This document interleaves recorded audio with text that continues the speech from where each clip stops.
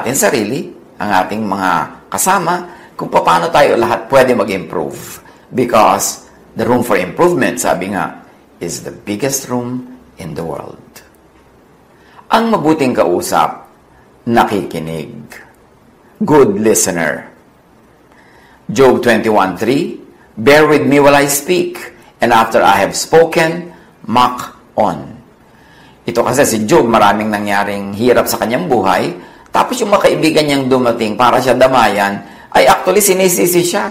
At hindi siya makapagtapos ng kanyang sinasabi. Sinisingitan, inuunahan siya para sabihin, siya siguro may kasalanan, kaya nagkaganyan-ganyan ang kanyang buhay. So sabi niya, bear with me while I speak.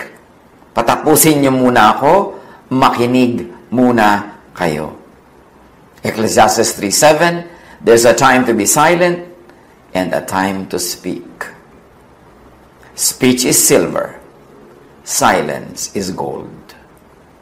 Kung mahalaga ang pagsasalita, madalas mas mahalaga ang pananahimik at pakikinig na mabuti. It is good to speak, but it is better to listen. Because when we listen, we learn. Lumalawak ang ating pananaw, lumalalim ang ating runong, at gumaganda ang ating behavior, maging ang ating pagkatao. Ang mabuting kausap, hindi sumisingit para pangunahan ang nagsasalita. Yung iba naman, nagsasalita ka pa, tatapusin na nila yung sentence mo for you. Meron ka sanang sasabihin na medyo may climax, may konting surprise, uunahan ka na agad nung mga nakakaalam na ng sagot o nung nakakaalam na sasabihin mo. May mga sumisingit para lang patunayang alam na niya ang sasabihin pa lang ng nagsasalita. Wala namang natutuwa sa ganong sumisingit eh. Kasi naiinis pa nga sa'yo yung siningitan mo at kuminsan napepreskuhan pa sa'yo yung mga nakikinig. Philippians 2.4 Let each of you look not only to his own interests, look not only to his own itch to speak, but also to the interests of others to speak. In-apply natin sa speaking yung verse. Huwag lang yung gusto mo ang sundin mo. Huwag lang yung katinang yung dila. Huwag lang yung inip mo na tuloy, you will finish the sentence that other people are trying to finish. Tuloy, ipipreempt natin ang gusto nilang sabihin, uunahan pa natin sila. No, no, no, no. Hindi yan quality ng masarap kausap. Ang mabuting kausap, hindi pasikat. Hindi lagi mo sinasapawan ng sinasabi ng kapwa, dinadaig, tinatalo. Bigyan mo na siya ng moment na siya yung maging star. Bigyan mo na siya ng kanyang five moments or five seconds of fame. Huwag agawin agad yung limelight sa kanya. Proverbs 14.3 A fool's mouth lashes out with pride. Ang hangal daw ay mayabang, mapagmataas, mapagmalaki, at sino naman ang matutuwa sa ganong tao? Kaya isang kahangalan nga yung ganyan eh. Pero kung talagang matalino ang isang tao, malalaman niyang hindi siya dapat ganon. Kasi walang matutuwa sa kanya. At saka, unkind to others. To steal the limelight from them kung sila yung may performance. Sila yung nagsasalita, aagawan natin sila ng audience, aagawan natin sila ng magagandang lines. Psalm 17.10 They close up their callous hearts, and their mouths speak with arrogance. Ganyan din yung mga ungodly. Matitigas ang puso, mabibilis, magsasalita ang kanilang mga matatalim na dila. Ang mabuting kausap, hindi judgmental. Hindi yung sa facial expression mo pa lang, dinidiscourage mo na yung tao magpatuloy magsalita. O kaya nagpapakita tayo ng pagkagulat o pagkagalit to discourage them from speaking. O kaya binibigyan agad natin ng moral value yung sinasabi nila, kahit yung moral value na yun ay very personal lang to us at hindi naman siguro laging yun ang universal moral correctness na meron lang tayong bias about our morality, about our self-righteousness, at ini-impose natin yun sa iba. Tulad ng mga kaibigan ni Job. Ang daming nangyari sa buhay ni Job na napakahirap, pero yun ay pagsubok, hindi parusa dahil meron siyang maling ginawa. Pero yung mga kaibigan niya na dumating pa daw para makiramay, hindi nagtagal, naninisi na sa kanya. Ipinagpipilitan na nila na si Job siguro may kasalanan, kaya dumating sa kanya ang maraming hirap. Job 16.4, I also could speak like you, if you were in my place. I could make fine speeches against you and shake my head at you. Sabi ni Job, oo, siguro nga kung nagkapalit tayo ng lugar, ako rin magsasalita ng mga pangit na sinasabi nyo sa akin. Masasabi ko rin yun sa inyo kung nagkapalit tayo ng lugar. Pwede rin magpailing-iling pa ako sa parang, kumbaga ay pagkainis o hindi paniniwala sa sinasabi ko, gawin nyo yan. Pwede ko rin gawin sa inyo yan. Kasi talaga namang napakahirap ng pinagdanasan ko at pinagdaanan. Pero sana, huwag nyo nang dagdagan pa. Hayaan nyo na lang magsalita. Hayaan nyo akong makapaglabas ng aking dinidibdib, ng aking hinaing, ng aking sama ng loob, ng aking lungkot. Huwag nyo na akong daigin pa sa pagsasalita. Pwede ba ako na lang magsalita? Total, ako naman itong nahihirapan. Ako yung merong dapat ihinga. Matthew 7.1 Do not judge, or you too will be judged. Pag may kausap tayo, huwag tayo agad bumubuo sa loob ng isip natin ng judgment tungkol sa Kanya. Huwag tayong hindi pa siya tapos magsalita ay meron tayong nabuong hatol against that person who is speaking. Maging maluwag ang hininga ng kapwa sa pagsasalita, bigyan natin ng space. At bigyan natin siya ng, at the very least, benefit of the doubt. Huwag tayong agad-agad manghusga, agad-agad pigilin siya sa kanyang pagsasalita, agad-agad na daigin siya at tayo magsasalita. Ang mabuting kausap hindi domineering. Hindi naguutos o nagpipilit ng point of view niya. Pag kami nagtatanong, bibigyan natin ng sagot, pero sagot lang natin yun, hindi niya kailangan sundin yung sinabi natin. Binigyan lang natin siya ng isang choice among many choices available sa kanya. James 3.17 But the wisdom that comes from heaven is first of all pure. Then, peace-loving, considerate, submissive, full of mercy and good fruit, impartial and sincere. Ganon daw ang tunay na karunungan na nagmumula sa Diyos. Dalisay, malinis, ang hinahanap ay katahimikan, hindi gulo, nagsasaalang-alang sa kapwa, hindi ipinagpipilitan ng sarili, mahabagin, maganda ang bunga, hindi biased, at ito ay matapat at malinis. Ang mabuting counselor, yung mga tagapayo, hindi naguutos. Hindi nagmamanman kung nasusunod siya. Hindi nagagalit pag hindi sinunod. At hindi nagpaparusa pag hindi sinunod. Sa counseling, inaayos lang natin ang magulo. Nagpapaliwanag tayo ng madilim. Nag-aayos ng magulo sa isip. Nag-aalok ng mga choices But a good counselor lets the counselee decide. Hindi tayo magpapayo tapos ipopulis natin, babantayan yung tao kung sinunod ang payo natin. Tapos magagalit tayo pag hindi tayo sinusunod. Pagkatapos humihingi uli ng payo, sasabihin natin, huwag ka nang magpapayo sa akin, di ka naman sumusunod sa akin. Look, nagpapayo tayo para yung magulong buhok masuklay para mas maintindihan niya. Yung madilim matapunan ng mas maraming liwanag para mas makita niya ang relationship of things pero hindi tayo diktador na magsasabi doon sa humihingi ng payo kung anong dapat niyang gawin. Pwede tayong mag-offer ng, o oh, eto mga sa tingin ko ay posible mga gawin mo, 1, 2, 3, 4, 5. But let the counselee choose kung anong gusto niyang gawin. At huwag magalit yung counselor pag hindi natupad yung ipinapagawa niya. Ganon ang makadiyos na pagpapayo. Ganon ang makadiyos na pakikinig. At ganon ang makadiyos na pagbibigay ng ating kuro-kuro. Hindi natin judge yung tao pag hindi tayo sinunod. Ang mabuting kausap, hindi madaldal. Does not betray trust. Hindi yung nalaman niya, tapos mamaya alam na ng buong barangay. At lalo ngayon, ang bilis-bilis ng social media, pag may nalaman tayong sikreto, ipinagtapat, o kaya ay sa moment of weakness ng kapwa na humihinga sa atin ng sama ng loob, may nalaman tayo, dapat igalang natin yon. Whatever is shared in secret, in good times, in friendship, must be kept a secret even in so-called bad times, even if you become enemies.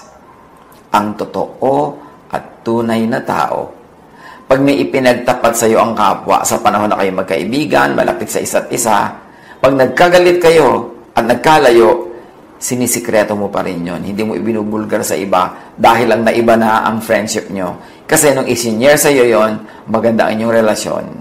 Therefore, igagalang mo yung magandang relasyon na yon kahit na iba pa nga ang ganong relasyon pagdating ng panahon. Proverbs 11.13 A gossip betrays a confidence, but a trustworthy person keeps a secret. Secret niya nung friends kayo, ngayon hindi na kayo friends, igalang mo yung friendship na yon kahit natapos na o kahit na iba, keep it still as a secret. Kung ikaw ay disente, makadiyos, at mabuting tao. Proverbs 13.3 Those who guard their lips preserve their lives. And may I add, and the lives of those who trust them. Pagka hindi tayo madaldal, hindi tayo nagbubulga ng mga sikreto needlessly, yung sarili nating kaligtasan ay ating napapangalagaan, pati kaligtasan ng kapwa. Hindi tayo nagkakaroon ng mga needless enemies, hindi tayo nagkakaroon ng needless dangers na papasukin kung may magalit sa atin dahil tayo ay madaldal. At kung anak ng Diyos, hindi lahat ng iniisip ay sinasabi, lalo sa social media. Sa social media, ang dali-dali mag-away, ang dali-dali mag-disagree. Pero come on, nagba-Bible study kayo sa social media, sa Zoom conference, may Bible study, tapos mag-aaway. Tapos pagsasalita ng hindi maganda, ng masakit, magdi-display tayo ng pride, ng yabang, ng ating pagiging hypersensitive. It has no place in an online Bible class. It has no place in an online fellowship. Kasi dapat the Spirit of God governs us. At dahil sa social media, napakadaling ikalat ang baho, napakadaling ikalat ang sarili nating baho, sarili nating emosyon, mas maingat tayo dapat. Kasi pag nasabi na, kumalat na, hindi mo na mababawi pa. Mag-sorry ka man, pero hindi yan buong-buong nababawi. May natitira pa rin yan, nalulutang-lutang sa hangin. Kaya ang sabi ng Ephesians 4.29, Do not let any unwholesome talk come out of your mouths, but only that which is helpful for building others up, according to their needs, that it may benefit those who listen. So, ang magandang kausap, ang mabuting kausap, binabantayan ang kanyang bibig, ang sinasabi lang niya ay yung makakatulong, hindi yung makakasira sa kapwa. Ang sinasabi niya ay yung sensitive sa need ng iba, hindi sa sariling need niya lang. At ang kanyang iniisip, lahat ng kausap, pinag-uusapan, at makikinig ay makikinabang. Nakapakinabangan sa kanila pag bumuka ang ating bibig. Proverbs 20:19, a gossip betrays a confidence, so avoid anyone who talks too much. Pagka merong tao na masyadong madaldal, walang pag-aalinlangan at walang preno sa paninira ng kapwa, directly or indirectly, sa pagsasalita ng bagay na makakasira sa kapwa, iwasan daw ang ganong mga tao. Kasi yung ginagawa nila sa iba, gagawin nila sa iyo. Pag mabuti ang kausap, napapabuti ang kapwa. Mayroon namang kausap na mapapahamak ang kapwa imbes mapabuti. Sabi sa Romans 3.13, Their throats are open graves. Their tongues practice deceit. The poison of vipers is on their lips. Yan daw mga taong masama magsalita, masama ang korte ng bibig, ang kanilang mga lalamunan ay para mga libingan. Ang mga dila nila ay mapandaya at ang kamandag ng mga ulupong ay nasa kanilang mga labi. Mabuti ka bang kausap? Masarap ka bang kausap? Psalm 119, 103 How sweet are your words to my taste, sweeter than honey to my mouth. Ang blessed person, pag nagsasalita, blessed ang kapwang nakikinig. Proverbs 16.24 Gracious words are a honeycomb, sweet to the soul, and healing to the bones. Lalo sa ministry, watch your words. Words should bless. Kung sa palagay mo ikay godly, sa palagay mo ikay leader, sa palagay mo ikay magaling, bantayan ang bibig yan ang tunay na sukatan. Hindi record, hindi body of works, Hindi dami ng ministry, hindi dami ng sipag at nagawa, kundi paano naman magsalita?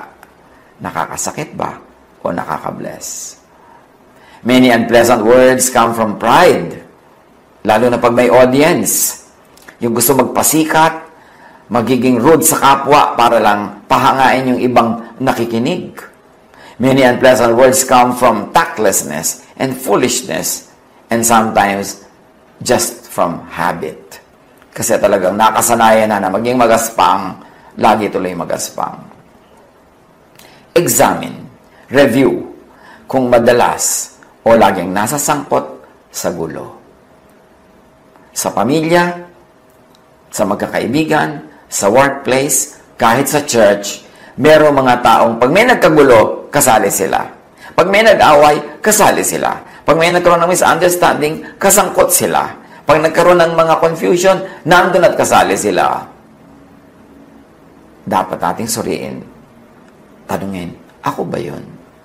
Gaano kadalas ako masangkot sa gulo? Kasi yung mga nasa sangkot sa gulo, laging iniisip nila, tama sila. Parang tama lang na pumasok sa gulo, tama lang ang ginagawa ko. Pero makahalata tayo pag madalas tayong masangkot sa gulo. Kung napapagulo tayo kung kani-kanino at sa iba't ibang tao at iba't ibang grupo, baka naman tayo na ang may dala ng lason. Baka naman tayo na ang problema. Madalas ka bang masakot sa gulo? Ikaw o ang mga kinakampihan mo? Siyempre, birds of a feather flock together, so yung mga magugulo, kampi-kampihan. Pero kung magkakampi-kampihan kayo ng mga magugulo, lagi may nakakaaway, paano naman mag improve ang karakter? Dapat iron sharpens iron. Nagtuturoan tayo para maging mabait, hindi para maging masungit. Nagtuturoan tayo at nagtutulungan para maging mahinahon, hindi para maging marahas. Yun ang tunay na epekto dapat ng Espiritu sa ating buhay. James 3.10 Out of the same mouth come praise and cursing. My brothers and sisters, this should not be. Proverbs 12.18 The words of the reckless pierce like swords. Kung nakakasakit ang ating salita, nasa ng kabutihan? Nasa ng kabaitan? Nasa ng pagiging makadiyos? Kahit pa nga sa palagay natin tayo may katwiran, tama tayo, pero yung korte ng salita natin nakakasugat, nakakadugo sa kapwa, hindi mali na rin tayo nun. Proverbs 18.21 The tongue is the power of life and death, and those who love it will eat its fruit. Nakakamatay, nakakabuhay, nakakapanghina, nakakapagpalakas ang ating dila. Gamitin ng tama. Proverbs 15.4 The soothing tongue is a tree of life, but a perverse tongue crushes the spirit. Pag tayo ba'y nagsasalita ay nabe-bless ang kapwa, nagiging blessing tayo, o nagiging curse, nagiging sumpa, ang masarap kausap, winner. Namamahal ka, gusto ka pang kausapin uli, hindi ka tinatalikuran at hindi ka iiwasan sa mga darating na panahon. Pero ang masakit kausap, loser. Nawawala ang pag-ibig sa'yo ng tao, nawawala ang kanilang friendship, nagkakaroon ka ng kaaway. Do not win an argument, but lose a friend. But lose dignity or lose God's approval. Yang lagi nagsisikap na siya ang manalo sa argumento, mas malakas ang boses, merong final say and last say, kadalasan niya nang nawawala ng mga kaibigan, nilalayuan ng mga taong dati sana ay malapit sa kanila. Kaya sabi ni Jesus, tungkol sa mga salitang walang kabuluhan, mga salitang masakit at masama, Matthew 12.36, I promise you that on the day of judgment, Everyone will have to account for every careless word they have spoken. Pananagutan natin, ipagsusulit ang bawat salitang namutawi sa ating labi na walang kwenta, walang katuturan, o walang kabutihan. Do not win an argument, but lose love. Lose respect. Kung bubuka ang bibig, win na lang, wag na sa lose. Colossians 4.6 Let your conversation be always full of grace, seasoned with salt, so that you may know how to answer everyone. Marami tayong goodwill na nawawala dahil pangit ang ating salita. Maraming pag-ibig, maraming pagkakaibigan, maraming blessing na sasayang, sinisira ng matalim na dila. Pero marami ring pag-ibig, maraming friendships, maraming blessing ang pwedeng akitin ng mabuting pananalita. Suriin natin. Pagka merong nagsasalita sa harap natin na pangit magsalita, pwede naman tayong manahimik lang at sa expression ng mukha natin, sila na bahalang bumasa na ikinalulungkot natin ang kanilang mga sinasabi. Suriin ang sarili. Ang words pwedeng weapon to hurt others, pero pwede rin itong parang napakabangong bulaklak para maging blessing sa iba at magsimula ng magagandang mga samahan. Watch your words. Maging maganda at mabuting kausap. It's only a matter of choice. It's a matter of discipline and it's a matter of decision. Magbulay-bulay tayo. Suriin ang ating mga sarili. God